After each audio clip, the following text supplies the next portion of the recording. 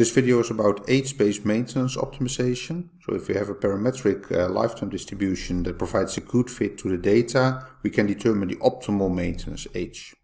We will make the following assumptions. So at the moment of failure, we carry out corrective maintenance and that has a cost of CCM. We can also carry out preventive maintenance and that has a cost of CPM. Then uh, preventive maintenance is less expensive than corrective maintenance because otherwise we would never do preventive maintenance. And we also assume that both types of maintenance are perfect, so they both make the unit as good as new again. And then uh, the optimal maintenance age, that will be noted by T-opt, and that's the maintenance age that minimizes the mean cost per unit of time. So the mean cost per unit of time, uh, that's denoted by eta as a function of T, that's the thing that we are going to minimize. The mean cost per unit of time equals the mean cost per cycle divided by the mean uh, cycle length. And then a cycle is the uh, time between two consecutive maintenance interventions. So the time between uh, the moment that the unit is as good as new again until the next uh, maintenance action. And that can be either preventive maintenance or corrective maintenance. So we now need the mean cost per cycle and also the mean cycle length. So let's start with the mean cost per cycle. Each random lifetime has distribution function capital F and the distribution function gives us a probability that the lifetime is below some value t. Then a failure occurs if the lifetime is below the maintenance age capital uh, T and thus the probability of failure is that uh, distribution function in the points capital T. And this probability uh, is increasing in capital T. We already know that distribution functions are increasing in uh, T. It also makes sense because if we increase the maintenance age, then the probability of failure is going up. Now we have preventive maintenance, and preventive maintenance is performed if the lifetime exceeds the maintenance uh, age capital T, and the probability that the unit survives until uh, reaching the maintenance age capital T is given by the reliability function evaluated in the point capital T, and that's also 1 minus the distribution function. This probability is decreasing in capital T. So if you choose a higher maintenance age, then it becomes less likely that we will survive until reaching that age. And then based on these two probabilities, we have the mean cost per cycle. So we pay the corrective maintenance cost uh, with this probability. So we multiply the corrective maintenance cost by the probability that we pay that cost. And we have preventive maintenance multiplied by the probability that we pay the preventive maintenance cost. If you prefer, you can also express everything in terms of the distribution function because the reliability function equals 1 minus the distribution function. Then I'm not going uh, to derive it, but it can be shown that the mean cycle length equals the reliability function integrated from 0 to capital T. So the reliability function needs to be integrated. And integrating a function means calculating the area below the graph of that uh, function. Uh, if we then uh, combine the mean cost per cycle and the mean cycle length, we then have our expression for the mean cost per unit of time. So it's the mean cost per cycle divided by the mean cycle length, and that gives us uh, this. So for a given maintenance age, this is the mean cost per unit of time. And now if we are going to minimize this function uh, by choosing the best value for capital T, then we obtain the optimal uh, preventive maintenance age uh, that is denoted by T opt. Then we have one remaining problem, and that is that the integral of the reliability function capital uh, R of the Weibull distribution cannot be solved explicitly. So that integral in the denominator cannot be uh, written in closed form without the integral uh, sign. But what we have is that function integrated means that we would like to have the area under the graph of that uh, function uh, and that can be approximated by uh, writing that integral as a summation. So that's what we are going to do. So the reliability function looks, for instance, like uh, this.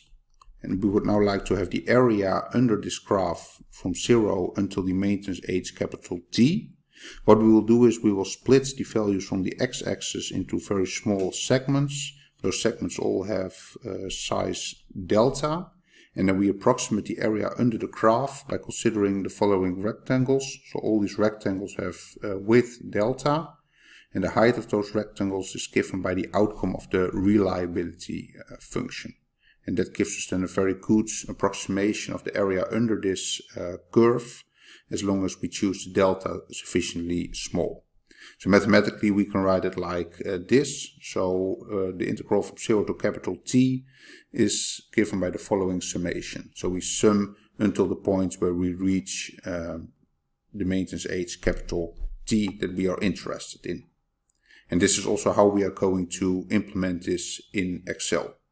We continue to consider the same example as before and for that uh, machine we have a preventive maintenance cost of 200 and a corrective maintenance cost of 1000 and we still have the values for the Weibull distribution. The scale parameter has value 6.73 and the shape parameter has value 2.44. And the question is for this specific Weibull distribution and for these uh, cost parameters, what is now the optimal uh, maintenance age? and we are going to determine that in Excel. We will start the Excel file with the uh, parameter values that we uh, already have and we are also going to choose a value for delta. What we are going to do is we will make a graph of the uh, mean cost per unit of time as a function of the maintenance age and we will consider maintenance ages with a step size of 0.01 uh, and that delta will also be used to evaluate the integral for the mean cycle length. Now the first thing that we are going to do is we will create a column with all values of the maintenance age that we are going to consider. We will start at uh, value delta and then for each new row we take the previous one plus we add the value of delta and we fix the reference to cell B5. Uh, and then we co can copy this formula downwards until, uh, let's see, we have a scale parameter of 6.7 so let's continue until reaching uh, value 10, uh, for instance. It should be uh, sufficient. Optimal maintenance age will definitely not be larger than 10. So here we have now a column with all the maintenance ages that we are going to consider. Uh, we can also calculate the corresponding uh, probability of uh, failure. So this is the probability of failure given the maintenance age in the first column. And that can be evaluated by using the function Weibull uh. First argument is the maintenance age. So what's the probability that the lifetime is smaller than this value? Alpha is uh, the k parameter, so and that should be fixed. Beta should be lambda, should also be fixed. We talk about a distribution function that's cumulative, so this should be set to true. And this formula can then be copied to the uh, rows below. So you see that if the maintenance age is extremely small, then the probability of failure is of course also extremely small. It's also useful to have the reliability function, so we put it in a new column and the reliability function is just 1 minus the distribution function. And then if the maintenance age is very small, then it's very likely that we will reach that uh, maintenance age. We will survive until that uh, age. Then what we need in the denominator or maybe it's better if we first uh, state now the mean cost per uh, cycle. So the mean cost per cycle, uh, for each cycle it's possible that we pay the corrective maintenance costs or otherwise we pay the preventive maintenance costs. So what we will do is we will say that this 1000 that will be fixed, that will be paid with probability uh, the distribution function and then we have the other cost parameter 200 and that will be paid with this probability of the reliability function and that B3 should also be fixed. So this is the mean cost per cycle. You see that cycle uh, is very cheap if you have very low preventive maintenance costs because then it's very unlikely that we pay the high failure cost but then the mean cycle length will also be very short so that still gives a very high mean cost per unit of time.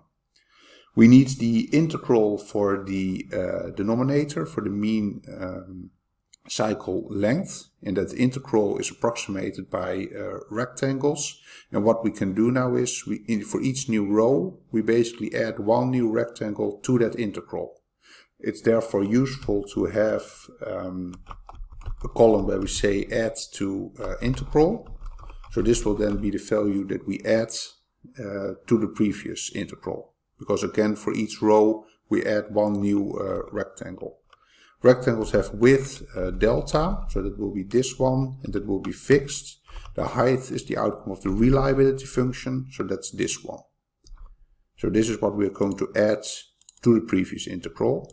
And then the integral, that's basically the um, mean cycle length. So you could also write mean cycle length here if you like. Uh, integral, so for the first one it's just only that first rectangle. For the second one it's the previous integral plus we add one new uh, rectangle. So this is what we do. And this formula can then be copied to all the rows uh, below. And then we have here now the mean cost per uh, cycle. And here we have the mean cycle length.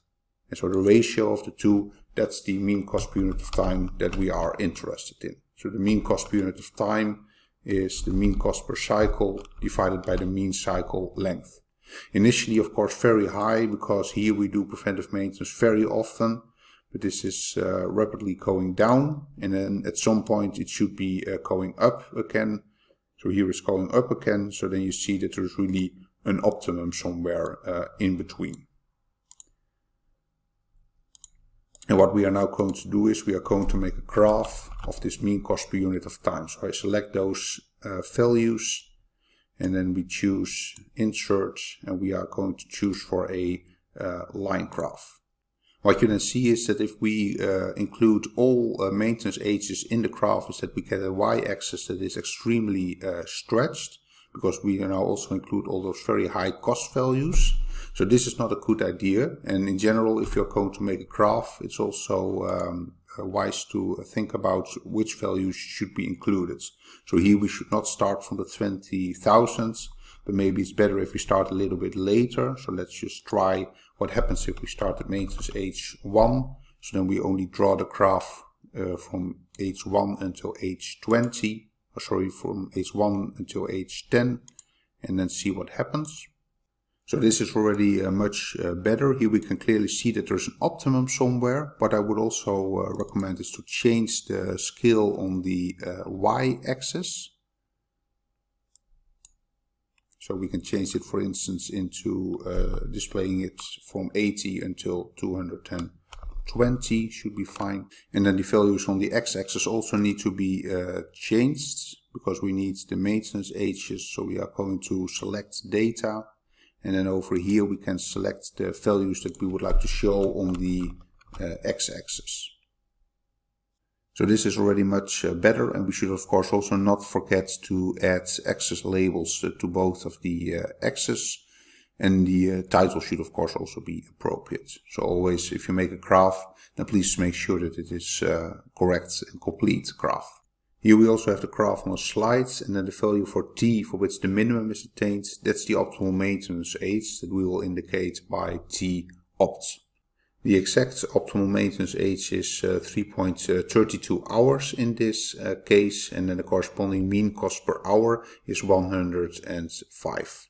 What we can also see in this graph is that the cost rate uh, converges to a certain value if the maintenance age uh, increases and that's basically the costs uh, that we pay if we don't do any preventive maintenance. And that cost is also given by the corrective maintenance uh, cost divided by the mean time uh, between failures. Because if we don't do any preventive maintenance anymore, then we only pay the corrective maintenance cost. And then each time, uh, the time until paying that cost is uh, on average the mean time between failures. And in this case, that cost is equal to 167.5. So that's the cost that we pay for a pure corrective maintenance uh, strategy. And then the difference between the two costs. So if we go from the pure uh, corrective maintenance strategy to the best uh, age-based maintenance policy, then you see a cost reduction. So then we go from the 168 to the 105. So that's the benefit of using the optimal age-based maintenance policy.